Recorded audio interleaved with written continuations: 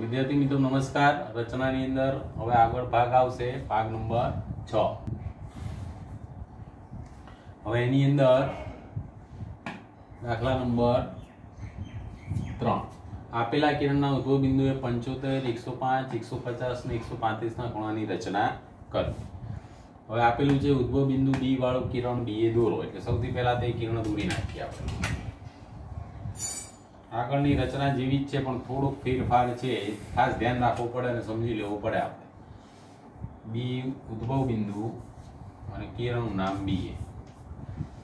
સૌથી પહેલાં પંચોતેરનો ખૂણો દોરવાનો છે, તો પહેલાં સાહીઠનો ખૂણો, પછી એકસો વીસ અને નેવું. આટલે સુધી તો પહોંચવાનું જ ચાપ એટલે પહેલા આખો ચાપ આ રીતે મારી દઈએ. પછી અહીંથી પહેલો ચાપ મારીશું, જ્યાં આપણે પી બિંદુ લખીએ. પી આગળથી પહેલો ચાપ મારીશું, એટલે 60 નો ખૂણો આવશે. જ્યાં ક્યુ લખીએ. ત્યાંથી ફરી ચાપ મારો, એટલે આર આવશે. જે એકસો વીસનો ખૂણો બનાવશે. ત્યાંથી ઉપર જતા રહીએ, એટલે 90 નો ખૂણો આવશે બંને બાજુથી. જો ક્યાંય આપણે ત્રિજ્યા બદલી જ નથી. પી ક્યુ આર એસ અને ઉપર બી થી એસ જોડી દઈએ આપણે.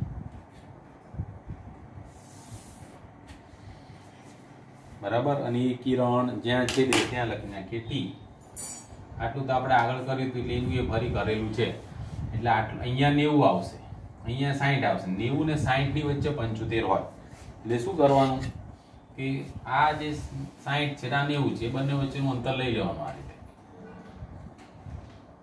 અને ત્યાંથી વચ્ચેના ભાગમાં ચાપ મારવાનું. ક્યુ ઉપરથી અને ટી ઉપર અને ત્યાં નામ આપી દઈએ એમ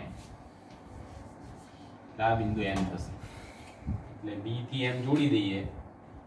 એટલે આ જે આવશે, ખૂણો એમ બી એ બરાબર પંચોતેર.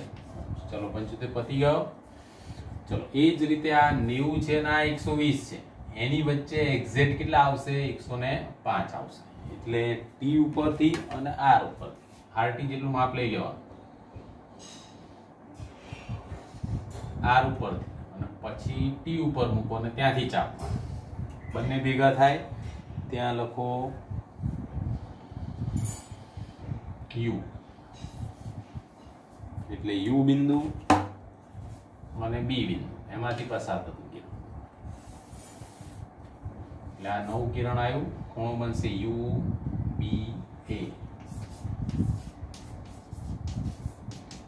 થશે એકસો ને પાંચ. એટલે પંચોતેર પત્યો એકસો પાંચ પત્યો ચલો સમજ પડી ગઈ આટલી વસ્તુ. બરાબર? હવે બધા ભેગા ના થાય એટલે બીજી એક આકૃતિ દોરીએ છે બીજા ખૂણા માટે, એ પણ સમજી લઈએ. સૌથી કિરણ ખૂબ કિરણ લઈ લઈએ. Y Z.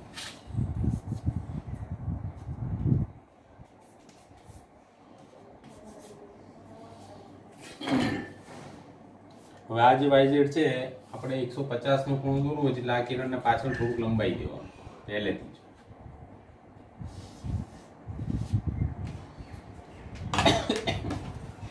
વાય વાળું જે ટપકું છે, ત્યાંથી અનુકૂળ ત્રિજ્યા લઈ અને આખું ફેરવી દેવો આ રીતે. ફરી વાર. આ રીતે આવશે. પહેલું બિંદુ આવશે એક્સ પહેલું ચાપ મારીશું, આ સાઠનું આવશે. ડબલ્યુ ડબલ્યુ ઉપરથી ફરી ચાપ મારીશું, એટલે એકસો વીસ આવશે.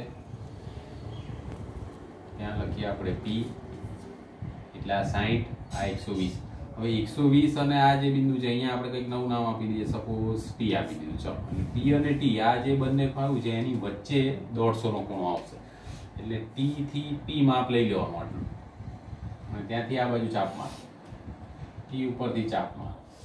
માપ કેટલું લીધું ટી થી પી આટલું માપ લઈ ટી ઉપરથી પહેલું ચાપ અને પી ઉપરથી પહેલું ચાપ. એટલે અહીંયા જે આવશે એક્ઝેક્ટ અહીંયા લઈ લઈએ આપણે એસ તો વાયથી એસ તોડી દઈએ.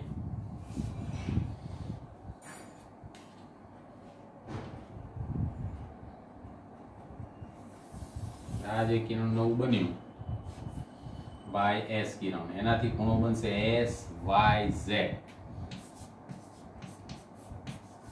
એ આવશે એકસો ને પચાસનું હવે આ એકસો પચાસ અહીંયા જે આવ્યું એ ચાપને છેદ્યું ત્યાં આપણે લખી નાખીએ દાખલા તરીકે ક્યુ આ ક્યુ બિંદુ અને આ પી બિંદુ. પી આગળ એકસો વીસ છે અને ક્યુ આગળ કેટલો છે? દોઢસો. એ બંનેની એક્ઝેક્ટ વચ્ચેથી તમે કિરણ કાઢો એટલે આપણે જે ખૂણો જોઈએ છે, એકસો પાંત્રીસનો બનશે. બરાબર?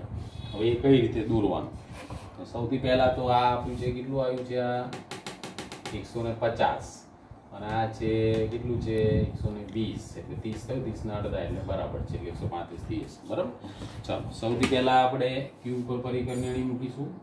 ક્યુથી પી માપ લઈ લઈશું આ રીતે. અને પહેલો ચાપ અહીંયા મારીશું.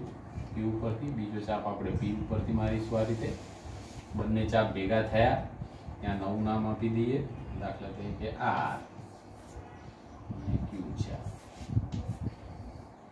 વાયથી આર જોડી દઈએ